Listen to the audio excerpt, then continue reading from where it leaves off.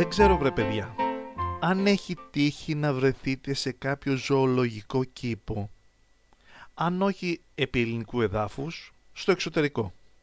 Εγώ παραδείγματος χάρη αποφεύγω να πηγαίνω σε ζωολογικούς κήπους. Και ξέρετε γιατί; Γιατί τους συχαινότανε ο πατέρας μου. Ο πατέρας μου όταν περνούσαμε από ζωολογικό κήπο έλεγε ότι ούτε να διανοηθείτε να μου ζητήσετε να σας πάω μέσα στο ζωολογικό κήπο. Και όταν το ρωτούσαμε, γιατί βρε μπαμπά, γιατί δεν μας πας, εμείς θέλουμε να δούμε την καμιλοπάρδαλη, θέλουμε να δούμε τον ελέφαντα. Να σας πάω στην Αφρική, όταν πιάσω λεφτά, να δείτε την καμιλοπάρδαλη και τον ελέφαντα στο φυσικό του περιβάλλον. Εδώ αυτός ο ζωολογικός κήπος δεν είναι παρά μια φυλακή άγριων ζώων. Και ξέρετε, μεγαλώνοντας, το έχω εμπεδώσει καλά αυτό. Αλλά όταν βρεθείς εκεί στα εξωτερικά και είσαι με παρέα, άντε θα σε πιέσουν λίγο, άντε λίγο από εδώ, άντε θα ρίξεις λίγο νεράκι στο κρασάκι σου και θα πας και εσύ να δεις τα φυλακισμένα άγρια ζώα. Όμως, σας έχει τύχει να πάρετε μαζί σας και την αγαπημένη σας, τη γιαγιά την Πολιάνα. Να σου πει η γιαγιά λοιπόν ότι θέλω να πάω να δω κι εγώ ένα ζωολογικό κήπο και να την πάρεις, να φορέσει, να βαφτεί, να φτιάξει μαλλί.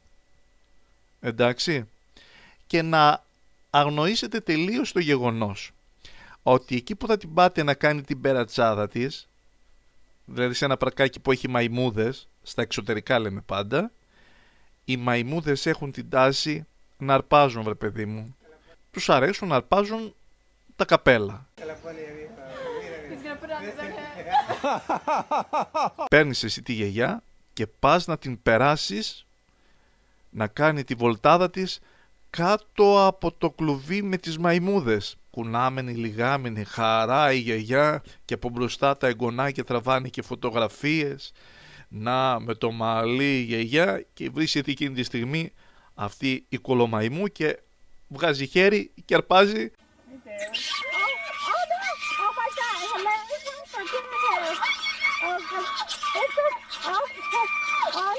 Τι της έμελη της γυναίκας να το πάθει αυτό.